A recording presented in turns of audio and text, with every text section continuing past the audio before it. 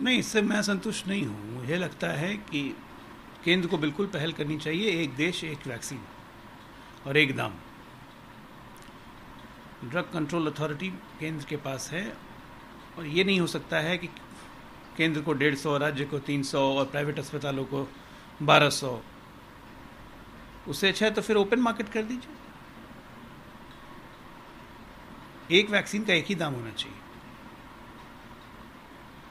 प्रधानमंत्री ने अपने पीएम केयर फंड से एक लाख पोर्टेबल ऑक्सीजन कंसंट्रेटर दिया कहा कि इसका निर्माण जल्द हो और जिस स्टेट में ज़्यादा प्रेशर हो वहाँ जल्द से जल्द बिल्कुल स्वागत योग कदम है। और इसके लिए प्रधानमंत्री जी को बहुत बहुत धन्यवाद। इसके पहले भी केयर फंड से ऑक्सीजन प्लांट लगाने की व्यवस्था की गई है देश के पाँच सौ इकसठ जिलों में। ये सब तमाम उपाय हैं लेकिन मौजूदा परिस्थिति को देखते हुए और भी अधिक उपाय करने की ज़रूरत। महाराष्ट्र के स्वास्थ्य मंत्री ने कहा कि उनके जितने भी कलीग हैं मंत्रिमंडल के सबका विचार था कि पंद्रह दिन और बढ़ाया जाए वहाँ जो कोरोना की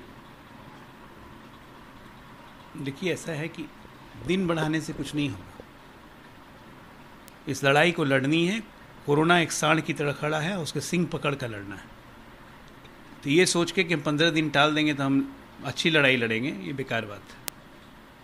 अच्छा ये जो महाराष्ट्र सरकार ने फैसला लिया है कि अठारह से चवालीस साल के लोगों को वैक्सीन देंगे और फ्री में लेकिन राजस्थान सरकार ने तो हाथ खड़े कर लिए। उनका कहना है कि हमने बात की थी इंस्टीट्यूट से उन्होंने देने से। आप असहमति में कि अठारह साल के लोगों को जो वैक्सीन लगे उतना हम नहीं दे पाएँगे इसलिए पंद्रह मई तक का समय चाहिए।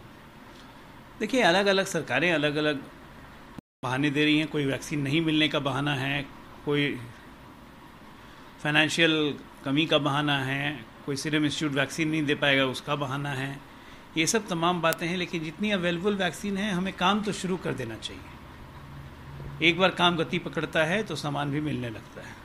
ये सोच के कि हम एक ही साथ पाँच करोड़ वैक्सीन इकट्ठा कर लें, तब हम वैक्सीन देने लगेंगे।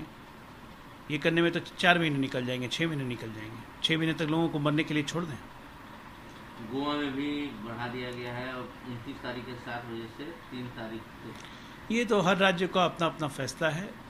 हर राज्य अपनी ज़रूरत के हिसाब से अपने क्षमता का आकलन करके लॉकडाउन लेने का फैसला करती है। बिहार में भी कुछ फैसले लिए गए हैं? स्वाभाविक है जैसे मैंने कहा हर राज्य अपना आकलन करके फैसला लेती है। बिहार में भी फैसले लिए गए हैं। छः बजे से नाइट कर्फ्यू लागू हो जाएगा। चार बजे तक दुकान में बंद हो जाएँगी। यही सब पाबंदियाँ हैं। ये जेपी नड्डा एक पार्टी के इवेंट में बोलते हैं कि एवरी पार्टी वर्क्स अपने रास्ते से काम करती है पॉलिटिकल इमिटेशन केजरीवाल जी इसको समझते नहीं है और तुम लोग साथ में काम करेंगे। लेकिन ममता जी को ये बात क्यों नहीं समझ आती है कि पीएम मोदी ने कहा, सबका साथ, सबका विश्वास, सबका विकास? ये बात ममता बनर्जी को क्यों नहीं समझ आती है? जो स्वभाव से हिटलर होते हैं, उनकी आदत होती है कि अपनी बात सबको समझा दो। दूसरे की बात नहीं समझनी है। कुछ कुछ लोग ऐसे होते हैं। उनका आप कुछ नहीं कर सकते। उनको आप सलाह दीजिएगा तो कहेंगे कि सलाह की ज़रूरत नहीं है। चलिए बहुत लोग हैं ऐसे।